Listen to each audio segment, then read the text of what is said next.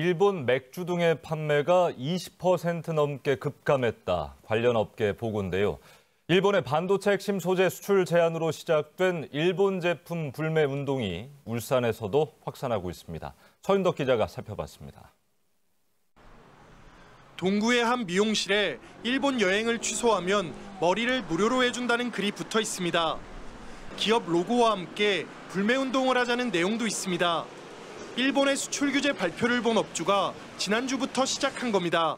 미용실 운영을 하고 있으니까 참여할 수 있는 부분이 이 정도 선인 것 같아요. 사람들이 다 무- 와서 무료로 해달라 그러면 어떡하냐고 그러더니 묻더라고요. 내가 그럼 당연히 기쁜 마음으로 해드려야죠.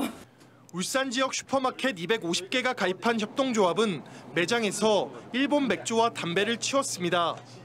조합 물류센터에 있던 3,500만 원어치의 일본 수입 맥주를 모두 반품했고 매장에 일부 남아있는 맥주도 회수할 계획입니다. 또 옆에 매장은 그걸 팔고 있으니까 그리 갈 수밖에 없는데 그렇다 하더라- 하더라도 대한민국 국민으로서 할 역할이라 생각하고 저희 조합은 똘똘 뭉쳐서 어, 끝까지 가보도록 해보- 해보겠습니다. 지난 4일부터 롯데백화점 등에서 일본 제품 불매 운동을 하고 있는 시민단체도 기자회견을 열고 시민들에게 일본 여행 자제 등 동참을 요청했습니다. 이런 가운데 울산 상공계는 일본의 수출 규제가 울산에 미치는 영향은 미미하다고 밝혔습니다. 무역협회는 울산엔 일본의 수출 규제 품목을 사용하는 기업이 없다고 설명했고 주력 기업들도 지금까지는 별다른 영향이 없다고 밝혔습니다. UBC 뉴스 서윤덕입니다.